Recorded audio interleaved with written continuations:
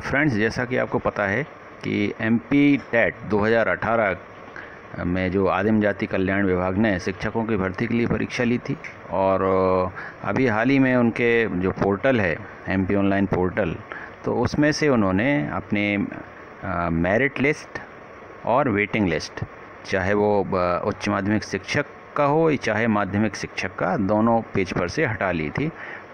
तो ये सब चीज़ें हम देख ही चुके थे कि डीपीआई के जो उच्च माध्यमिक और माध्यमिक शिक्षक का जो पेज था, उस पर से भी ये ऑटोमेटिकली हटती थी और एक एक समय के बाद हट जाती थी और कुछ दिनों के बाद फिर से वो अपलोड हो जाती थी। तो ये एक नॉर्मल प्रोसेस है।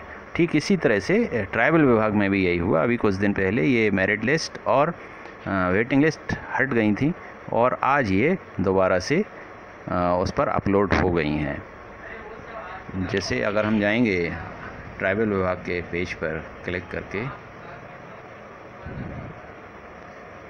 अगर उच्च माध्यमिक शिक्षक को के पेज पर जाएँ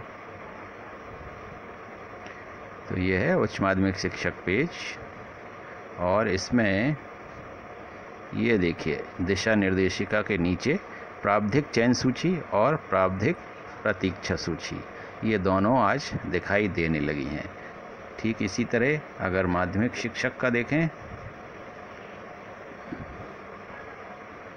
माध्यमिक शिक्षक आदिम जाति कल्याण विभाग, इसमें भी देखिए।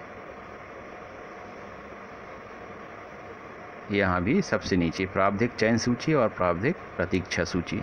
ये आज दोबारा से दिखाई देने लगी हैं।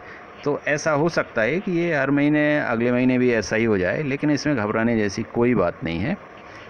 उसमें हो सकता है कि एक फ़िक्स एक टाइमिंग हो कि अगर लिस्ट डाली है तो वो उस टाइमिंग तक ही रहेगी, निश्चित समय तक। उसके बाद वो हट जाती है, डिसअपियर हो जाती है और फिर विभाग एम पी ऑनलाइन वालों को दोबारा से उसे अपलोड करना पड़ सकता हो।